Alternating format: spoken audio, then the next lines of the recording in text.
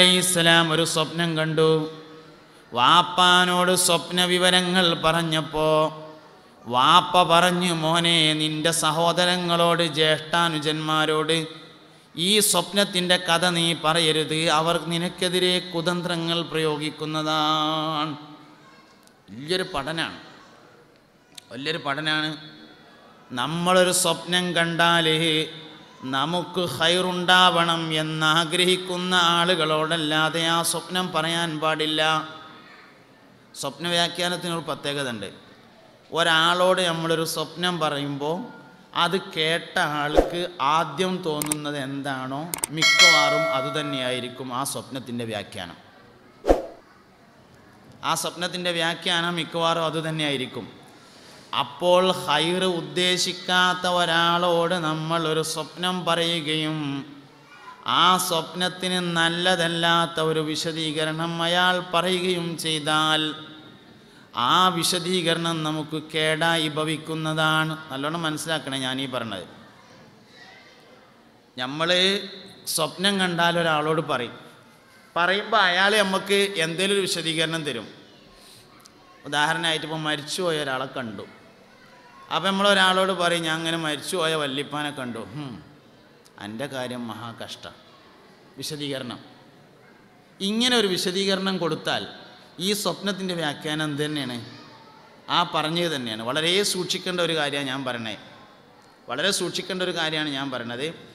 ഒരു സ്വപ്നം ഒരാൾ ആദ്യമായി ഒരാളോട് പറയുകയും അയാൾ അതിന് ഒരു വിശദീകരണം നൽകുകയും ചെയ്താൽ ഈ സ്വപ്നത്തിന്റെ വ്യാഖ്യാനം അതുതന്നെ ആവാൻ ഏറെ സാധ്യതയുണ്ട്. അതുകൊണ്ട് നിനക്ക് ഹൈറിനെ ഉദ്ദേശിക്കാത്തയും ഹൈറ് കൊണ്ട് സംസാരിക്കുകയും ചെയ്യാത്ത ഒരാളോട് നീ കണ്ട സ്വപ്നം പറയാൻ പാടില്ല.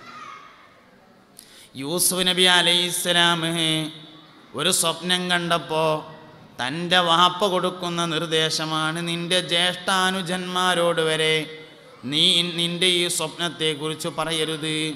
സ്വപ്നം രണ്ട് തരത്തിലുണ്ട്. ഒന്ന് ഉറക്കത്തിൽ കാണുന്ന സ്വപ്നമുണ്ട് രണ്ട് ഉണർച്ചയിൽ കാണുന്ന സ്വപ്നവും ഉണ്ട് സ്വപ്നം രണ്ട് തരത്തിലുണ്ട്. ഉറക്കത്തിൽ മാത്രമല്ല സ്വപ്നമുള്ളത് ഉണർച്ചയിലും സ്വപ്നമുണ്ട്. നമ്മുടെ മക്കളെ കുറിച്ചുള്ള നമ്മുടെ സ്വപ്നങ്ങൾ നമുക്കും മക്കൾക്കും ഹൈറുദ്ദേശിക്കാത്തവരോട് പറയാൻ പാടില്ല. അവർക്കത് ഉൾക്കൊള്ളാൻ കഴിയില്ല. അവരുടെ ഉൾക്കൊള്ളാൻ കഴിയായ്മ നമ്മളെ ബാധിക്കുന്നതാണ്. അതുകൊണ്ട് അങ്ങനെ പറയരുത്. ഉറക്കത്തിൽ കാണുന്നത് മാത്രമല്ല സ്വപ്നം ഉണർച്ചയിലും സ്വപ്നമുണ്ട് യൂസുഫ് നബിയോട് തന്നെ ജയിലാളികൾ വന്ന് പറഞ്ഞ സ്വപ്നം അവർ കണ്ട സ്വപ്നമായിരുന്നില്ല. അവർ വന്നിട്ട് പറഞ്ഞ സ്വപ്നം എന്താ ഒരാൾ വന്നിട്ട് പത്രിയുമായി രാജാവിന് കൊണ്ടുപോകുന്ന സമയത്ത് തലയിൽ നിന്ന് കാക്കകൾ കൊത്തിപ്പറിക്കുന്നത് ഞാൻ കണ്ടു. വേറൊരാൾ രാജാവിന് ഞാൻ വീഞ്ഞു നൽകുന്നത് ജ്യൂസ് നൽകുന്നത് ഞാൻ കണ്ടിരിക്കുന്നു. മൂന്നാൾ മൂന്ന് സ്വപ്നം പറഞ്ഞപ്പോൾ സ്വപ്നം എന്തെന്നുള്ളതല്ല പ്രശ്നം. യൂസുവിന് കൊടുത്ത മറുപടി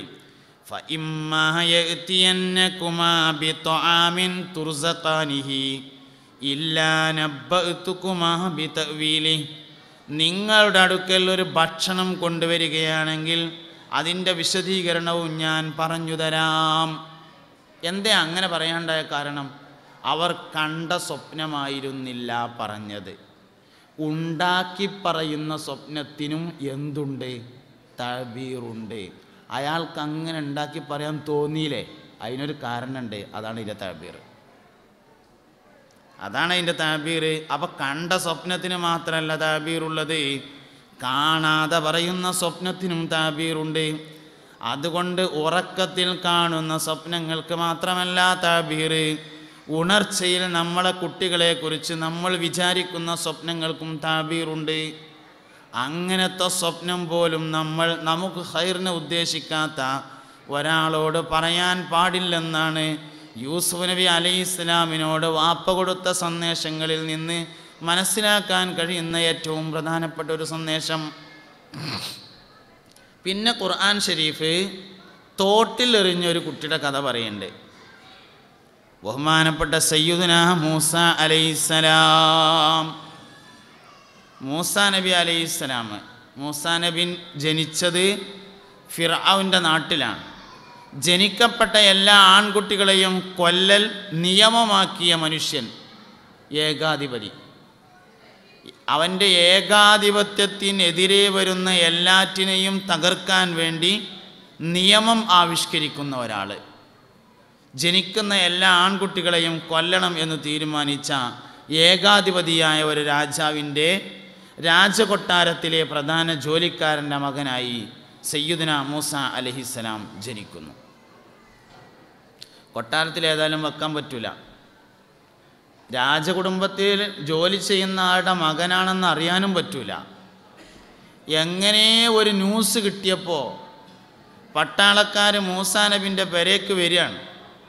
ഏതായാലും കൊല്ലുന്ന ഉറപ്പായപ്പോൾ മൂസാ നബിനെ ഉമ്മ തീജിക്കണ്ട് വെച്ചു. അടുപ്പിക്കട വെച്ചു. എല്ലായിടത്തും തിരഞ്ഞു. അടുപ്പിലിപ്പോൾ ഏതായാലും കുട്ടിനെ തരയില്ലല്ലോ. അപ്പോൾ എല്ലായിടത്തും തിരഞ്ഞിട്ടാണ് പോയി.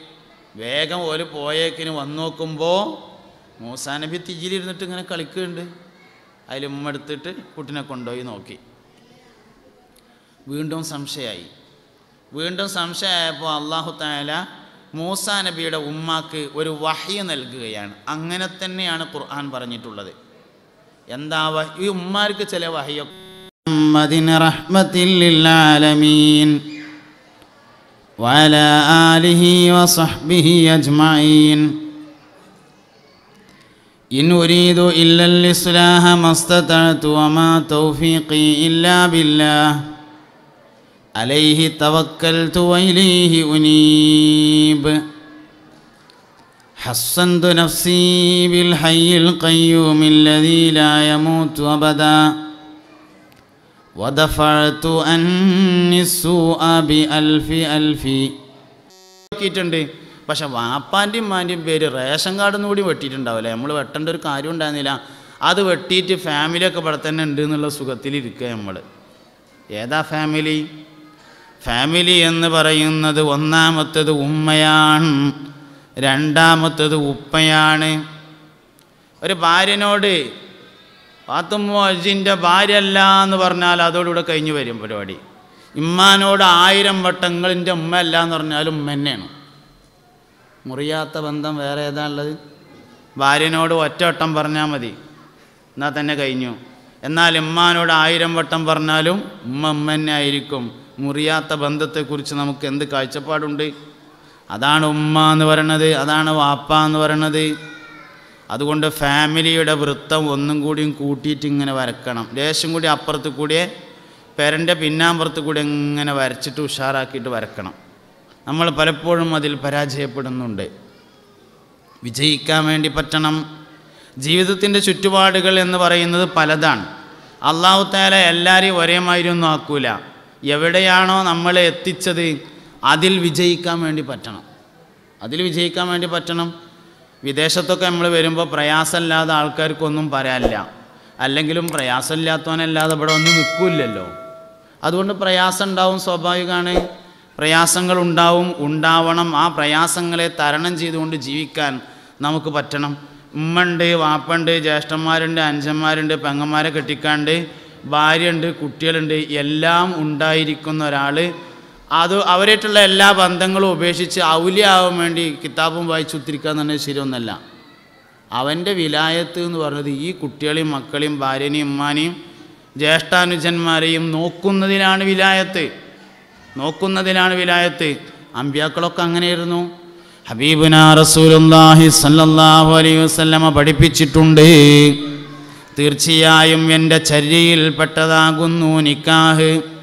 അതുകൊണ്ട് എന്റെ ചര്യയെ ഹയാത്താക്കണമെന്ന് ഉദ്ദേശിക്കുന്നവന് വിവാഹം കഴിക്കട്ടെ. ഇന്നമിനു സുന്നത്തി അന്നിക്കാഹ്.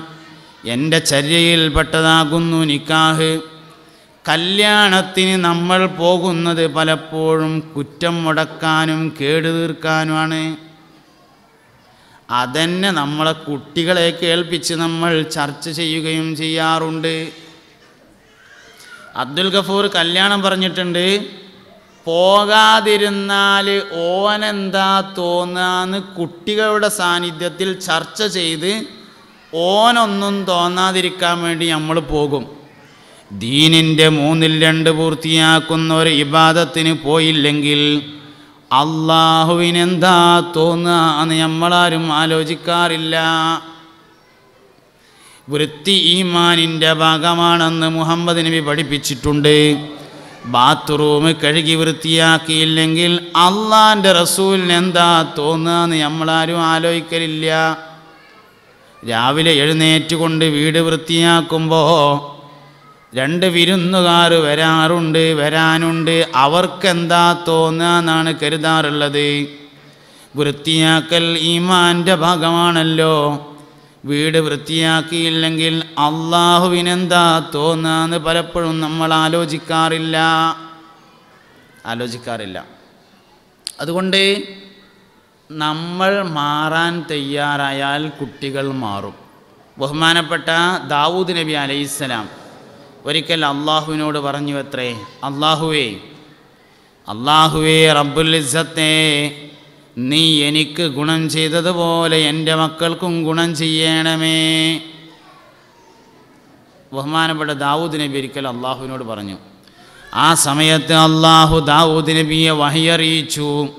ദാവൂദേ നിങ്ങൾ എന്നോട് എങ്ങനെയാണോ ചെയ്തത്? അങ്ങനെ നിങ്ങളുടെ മക്കളും ചെയ്യുകയാണെങ്കിൽ ഞാൻ നിങ്ങൾക്ക് എങ്ങനെയാണോ ആയിട്ടുള്ളത് അങ്ങനെ നിങ്ങളുടെ മക്കൾക്കുമായിക്കൊള്ളാം നല്ലോണം മനസ്സിലാക്കേണ്ട ഒരു കാര്യമാണ് ദാവൂദ് നബിക്ക് ഒരിക്കൽ അള്ളഹാനോട് പറയാണ് പഴച്ചോനെ നീ എനിക്ക് ഗുണം ചെയ്തതുപോലെ എന്റെ മക്കൾക്കും ഗുണം ചെയ്യണമേ. അള്ളാഹു തേല ദാവൂദ് നബിയെ വഹി അറിയിച്ചു ദാവൂദേ നിങ്ങൾ എന്നോട് എങ്ങനെയാണോ അതുപോലെ നിങ്ങൾ അവരോടും ആകാൻ പറയുക എന്നാൽ നിങ്ങൾക്ക് ചെയ്തതുപോലെ ഞാൻ അവർക്കും ചെയ്തു കൊള്ളാം. പച്ച മലയാളത്തിൽ നമുക്ക് മനസ്സിലാകുന്ന രൂപത്തിൽ പറഞ്ഞാൽ ഞാനിപ്പോൾ എങ്ങനെയാണോ? അങ്ങനെ എന്റെ കുട്ടികളും ആയാൽ സ്വർഗത്തിൽ പോകുമെന്ന് എനിക്ക് തോന്നുന്നുണ്ടെങ്കിൽ അങ്ങനെയാക്കാനുള്ള ശ്രമമാണ് ഞാൻ നടത്തേണ്ടത്. അപ്പോൾ കുട്ടികൾ നന്നാവണമെങ്കിൽ വാപ്പാരിലാണ് ആദ്യം മാറ്റമുണ്ടാവേണ്ടത് എന്നർത്ഥം. എനിക്ക് തോന്നണം എന്ത് എന്റെ കുട്ടി ഇപ്പം എന്റെ മാതിരി ആകുകയാണെങ്കിൽ ഓൻ സ്വർഗത്ത് പോകുമെന്ന് തോന്നണം. ആ അവസ്ഥയിലേക്ക് എനിക്ക് മാറാൻ കഴിയുമ്പോഴാണ് എന്റെ കുട്ടികളും നല്ലവരായിത്തീരുന്നത്.